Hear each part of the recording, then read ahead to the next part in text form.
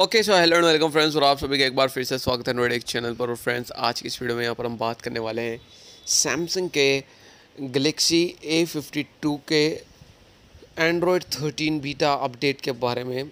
Well as know यहाँ पर Samsung Android thirteen beta जो अपडेट है वो इंडिया के अंदर अवेलेबल कर दिया है। एंड यहाँ पर जो अपडेट है वो सैमसंग के एस ट्वेंटी टू सीरीज़ के लिए अवेलेबल किया गया है। बट गुड न्यूज़ ये है कि सैमसंग अपने ए सीरीज़ में से A fifty two A fifty two S and A seventy two इन तीनों स्मार्टफोन्स के लिए जो अपडेट है वो लेकर के आ रहा है। और यहाँ पर दो स्मार्टफ़ोन और इंक्लूडेड है Samsung Galaxy A fifty two five G Samsung A seventy two five G but वो इंडिया के अंदर नहीं आते तो मैं उनको काउंट नहीं कर रहा हूँ।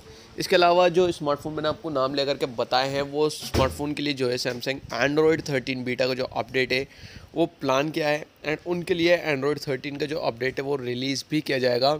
कब तक रिलीज़ किया जाएगा? एग्जैक्टली डेट का तो मालूम नहीं है बट इतना कंफर्म है कि यहाँ पर सैमसंग जो है एंड्रॉयड थर्टीन बीटा का जो अपडेट है वो वो लेकर के आ रहा है। एंड यहाँ पर एंड्रॉयड थर्टीन बीटा के साथ में हमें जो है वन यू फाइव भी देखने को मिलेगा।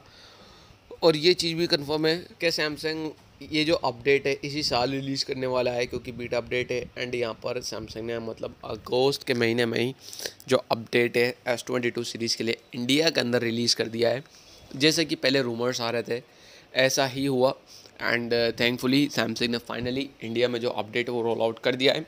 देखते हैं अगला अपडेट कौन से स्मार्टफ़ोन के लिए आएगा। ज़ाहिर सी बात है, अभी तो सैमसंग के जो फ्लैगशिप स्मार्टफ़ोन होने वाले हैं, अभी उनके लिए ही जो अपडेट है, वो रोल आउट किया जाएगा। बट उसके बाद में सैमसंग अपने ए सीरीज़ और एम सीरीज़ के लिए जो अपडेट है वो रिलीज़ करेगा।